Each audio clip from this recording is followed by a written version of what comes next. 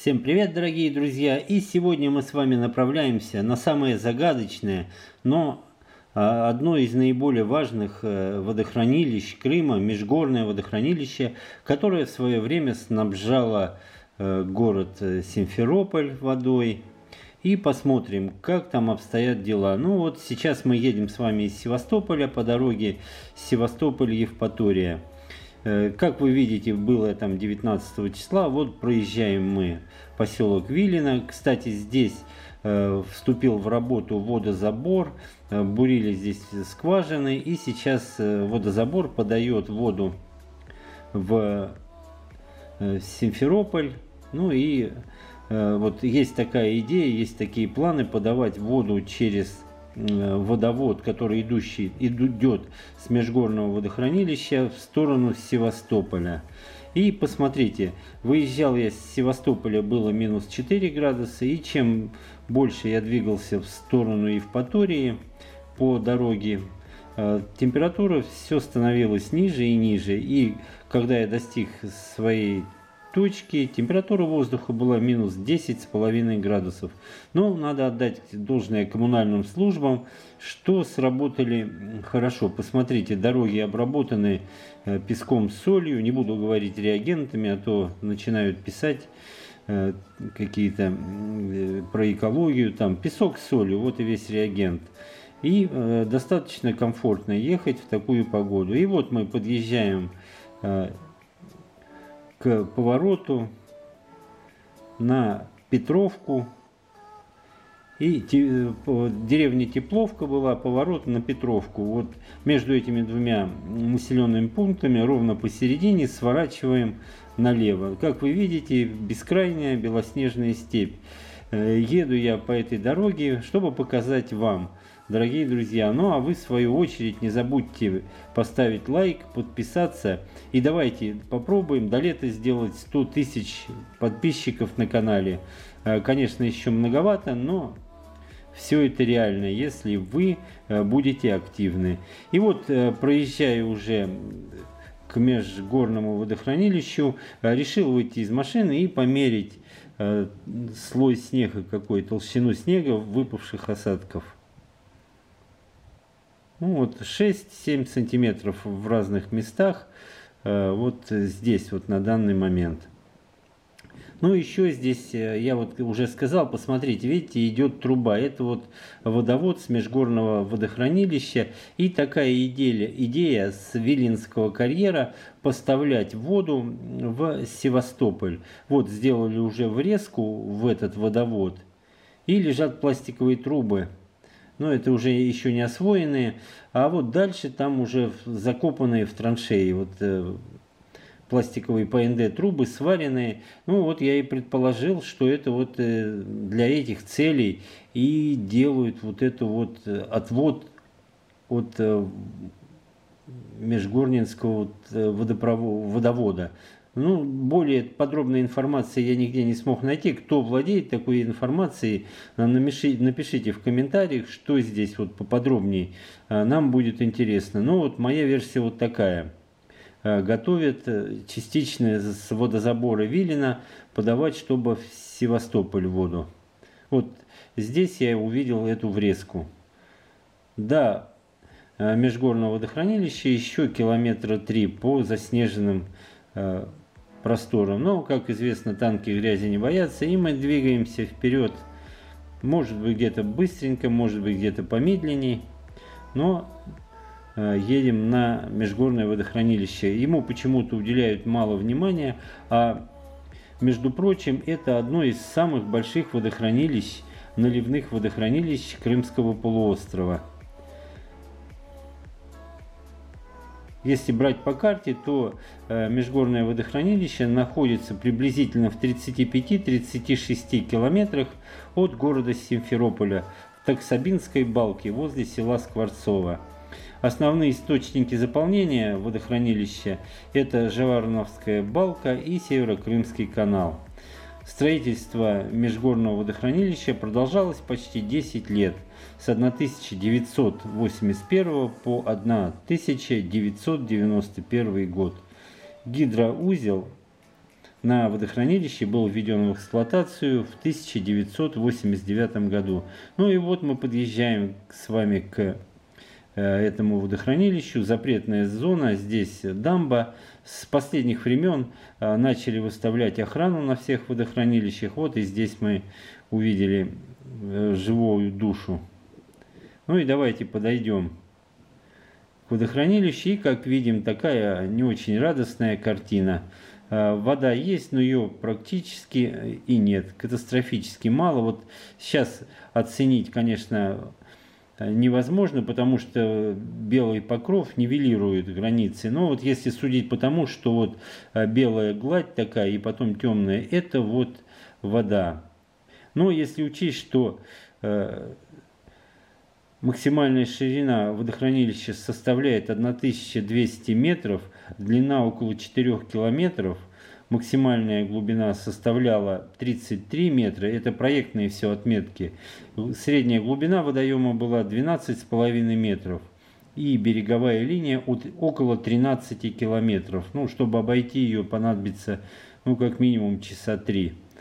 И вот такая вот башня здесь находится. Площадь водного зеркала межгорного водохранилища составляла в проектной документации, когда полное оно было 4 квадратных километра.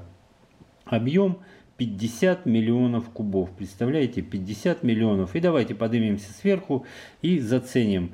Может быть, тут нам будет лучше видно. Водохранилище было зараблено в свое время. Э, на нем была возведена земляная плотина, которую мы сейчас видим, э, длиной 1800 метров и высотой около 38 метров. Водозаборное сооружение межгорного водохранилища состоит из приплотинной башни высотой 49 метров и галереи. Эта вот башня, она смотрится здесь как такой старинный замок. Сейчас мы к ней подлетим и посмотрим на нее. Ну вот обратите внимание, сверху вид э, ну, довольно-таки неприглядные. Вода есть, но ее катастрофически мало, поэтому и сейчас водозабор из, него, из этого водохранилища и не происходит. Вода, как я уже сказал, в основном поступала из Северо-Крымского канала по каскаду из пяти насосных станций соединительного канала средней производительностью 70 кубов в секунду и далее самотеком по Сакскому каналу. Затем насосами подавалось по дюкеру, пересекающему реку Тубечий-Крак и в Патарийское шоссе возле села Скворцово. Протяженность дюкера 1800 метров, диаметр 3200 миллиметров. Ну вот, когда выезжая из Симферополя, можно видеть этот дюкер. Максимальная пропускная способность его 12,5 кубов в секунду. Ну вот мы подлетаем к этой башне приплотинной. Видите, вот какая красота. 49 метров ее высота. И вокруг ни капли воды.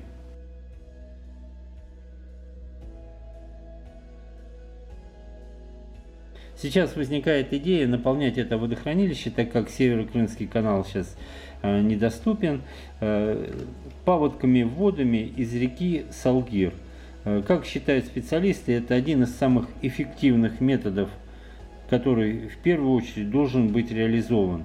Он значительно снизит вододефицит для Симферополя, Севастополя и ряда населенных пунктов, которые могут э, питаться из межгорного водоузла. Ну и таким образом э, можно уйти от графика подачи в Симферополе. Благодаря переброске реки, переброски реки в многоводные годы все дождевые и ливневые стоки и снеготаяния можно вот э, собирать э, помимо Симферопольского водохранилища, если он будет э, полным, перенаправлять в межгорные, которые имеют как объем, как я уже сказал, 50 миллионов кубов. Вот эта дамба, дорогие друзья, 1800 мет, длина метров и 38 метров высота. Представляете? Вот такая вот э, грандиозная конструкция была построена в свое время. Чтобы забирать воду из Салгира, планируется производить предварительную очистку перед подачей в межгорное водохранилище. И вот интересные факты. При использовании только реки Салгир, а ниже Симферопольского водохранилища, межгорное водохранилище может быть заполнено за 5-6 лет. При полном отсутствии осадков межгорное водохранилище сможет обеспечивать водой Симферополь и Симферопольский район на протяжении 200 суток.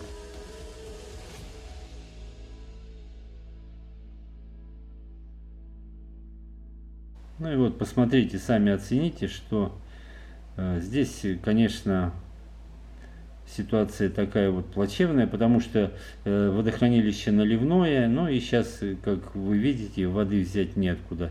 Ну еще вот немножко интересных цифр я накопал, хочу вам озвучить. В 2014 году, в 2014 в межгорное водохранилище планировали закачивать 80 миллионов кубов. Но вот как мы уже знаем, не срослось. Поэтому по данным воды Крыма на 1 апреля 2014 года объем воды составлял 25,5 миллионов кубов. К 8 сентября объем сократился до 15-16 миллионов. Из-за истощения запасов Чернореченского водохранилища в результате жаркого 2012 года Севастополь был вынужден использовать для водоснабжения межгорное водохранилище. В сентябре 2014 года на нужды Севастополя ежегодно расходовалось 9-10 тысяч кубов э, метров кубических воды. Ну а в конце 2014 в октябре из Межгорного в Чернореченское водохранилище ежедневно перебрасывалось 52 тысячи кубов. И по состоянию на 2015 год в Межгорном водохранилище воды практически не было. Но в том же месяце, кстати, вот из Симферопольского водохранилища было сброшено порядка 10 миллионов кубов паводковых вод. Всего по Крыму около 30 миллионов было сброшено. На протяжении 2019 года наполнение составило всего лишь 1,3 миллиона кубов. Во время засухи 2020 года и в конце сентября э, подавалось на водоснабжение около 50 тысяч кубов в сутки – что превышало среднесуточный забор из Симферопольского водохранилища. Ну а сейчас, как мы видим, э, водохранилище, ну, вода в нем отсутствует. Еще есть такие планы наполнять межгорное водохранилище за счет э, вод реки Альма и Кача. Но одной из проблем, препятствующих наполнению межгорного водохранилища, Э, является большая фильтрация, фильтрация и испарение с зеркала воды. Ну вот, коротенечко я вам рассказал про это межгорное водохранилище, которое сейчас все снегу. Надеемся, что э, снежный покров, когда начнет таять, хоть немного, но его наполнит. На этом все, дорогие друзья. Не забывайте подписываться, ставить э, колокольчик, жать на него. Ну и давайте попробуем все-таки до лета 100 тысяч набрать. Ну а я на этом заканчиваю. Всего вам хорошего э, и до новых встреч в новых роликах. Из Крыма Игорь Корсаков.